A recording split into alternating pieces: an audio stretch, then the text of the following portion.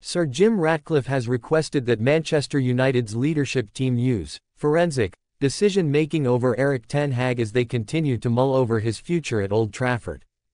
Ratcliffe headed up a seven-hour crisis meeting over United's disastrous start to the season this week, joined by right-hand man Sir Dave Brailsford, directors Dan Ashworth and Jason Wilcox and CEO Omar Berrada, with Ten Hag's role the main topic of discussion.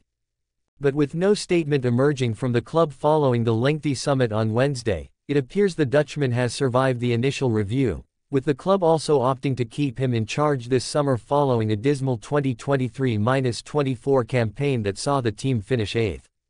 Ten Hag now looks set to return to United after the international break for a home game against Brentford on October 19, though it is unlikely he is in the clear following the club's poor recent results that have why.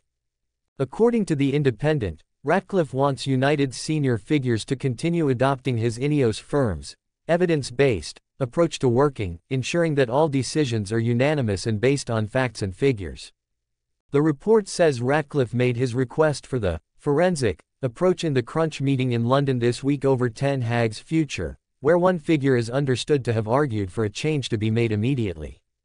However, another individual in the meeting warned of disruption that a change this early in the season could cause, as well as concerns over the lack of available replacements. Ratcliffe's determination to stick to an evidence approach has led to discussions within the hierarchy about how the team are better suited to playing with four at the back rather than three, the report goes on. Thomas Tuchel has been talked about as one of the most high-profile possible successors to Ten Hag, having already met with Ratcliffe to discuss taking over from the Dutchman in the summer, before the United board opted to stick to their guns. Former England boss Gareth Southgate has also been strongly linked to the role, with Ratcliffe said to be a huge admirer, though he effectively ruled himself out of the running after insisting he would not coach another team for at least a year. I won't coach in the next year, for sure.